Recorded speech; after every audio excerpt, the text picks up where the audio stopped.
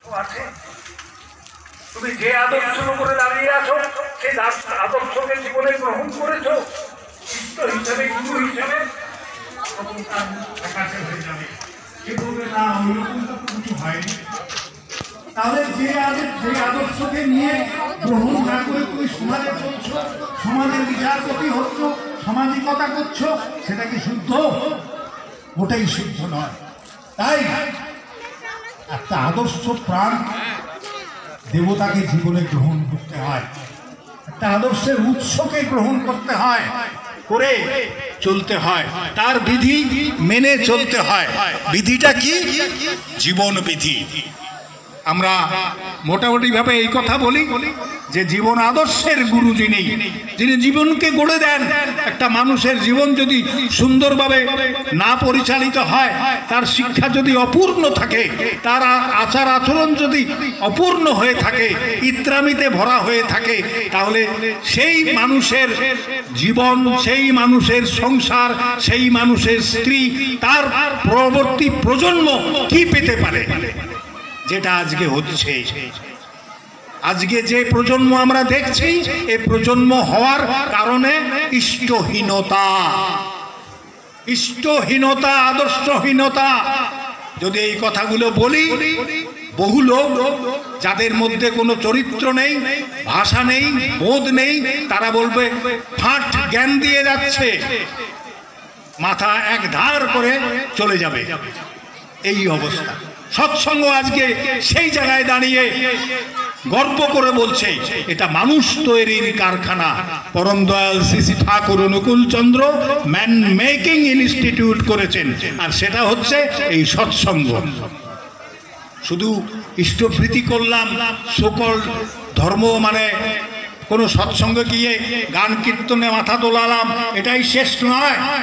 শেষ আপনার প্রতিটি পদক্ষেপ যেখানে শুরু হবে, যেখানে শেষ হবে সেখানে। আপনি খানিকটা এক কিলোমিটার হাঁটলে বা আধ কিলোমিটার হাঁটলে যে মানুষগুলো আপনার কাছ থেকে আপনাকে তাকিয়ে দেখবে, আপনার কথা শুনবে, তারা বলবে, না, মানুষটা ভালো। কি করে আমরা ভালো হলাম?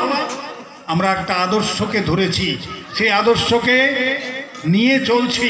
তার বেদ বিধি মেনে চলছি। সেই মেনে চলার জন্যই আমরা এতটা সৌন্দর্য বহন করছি।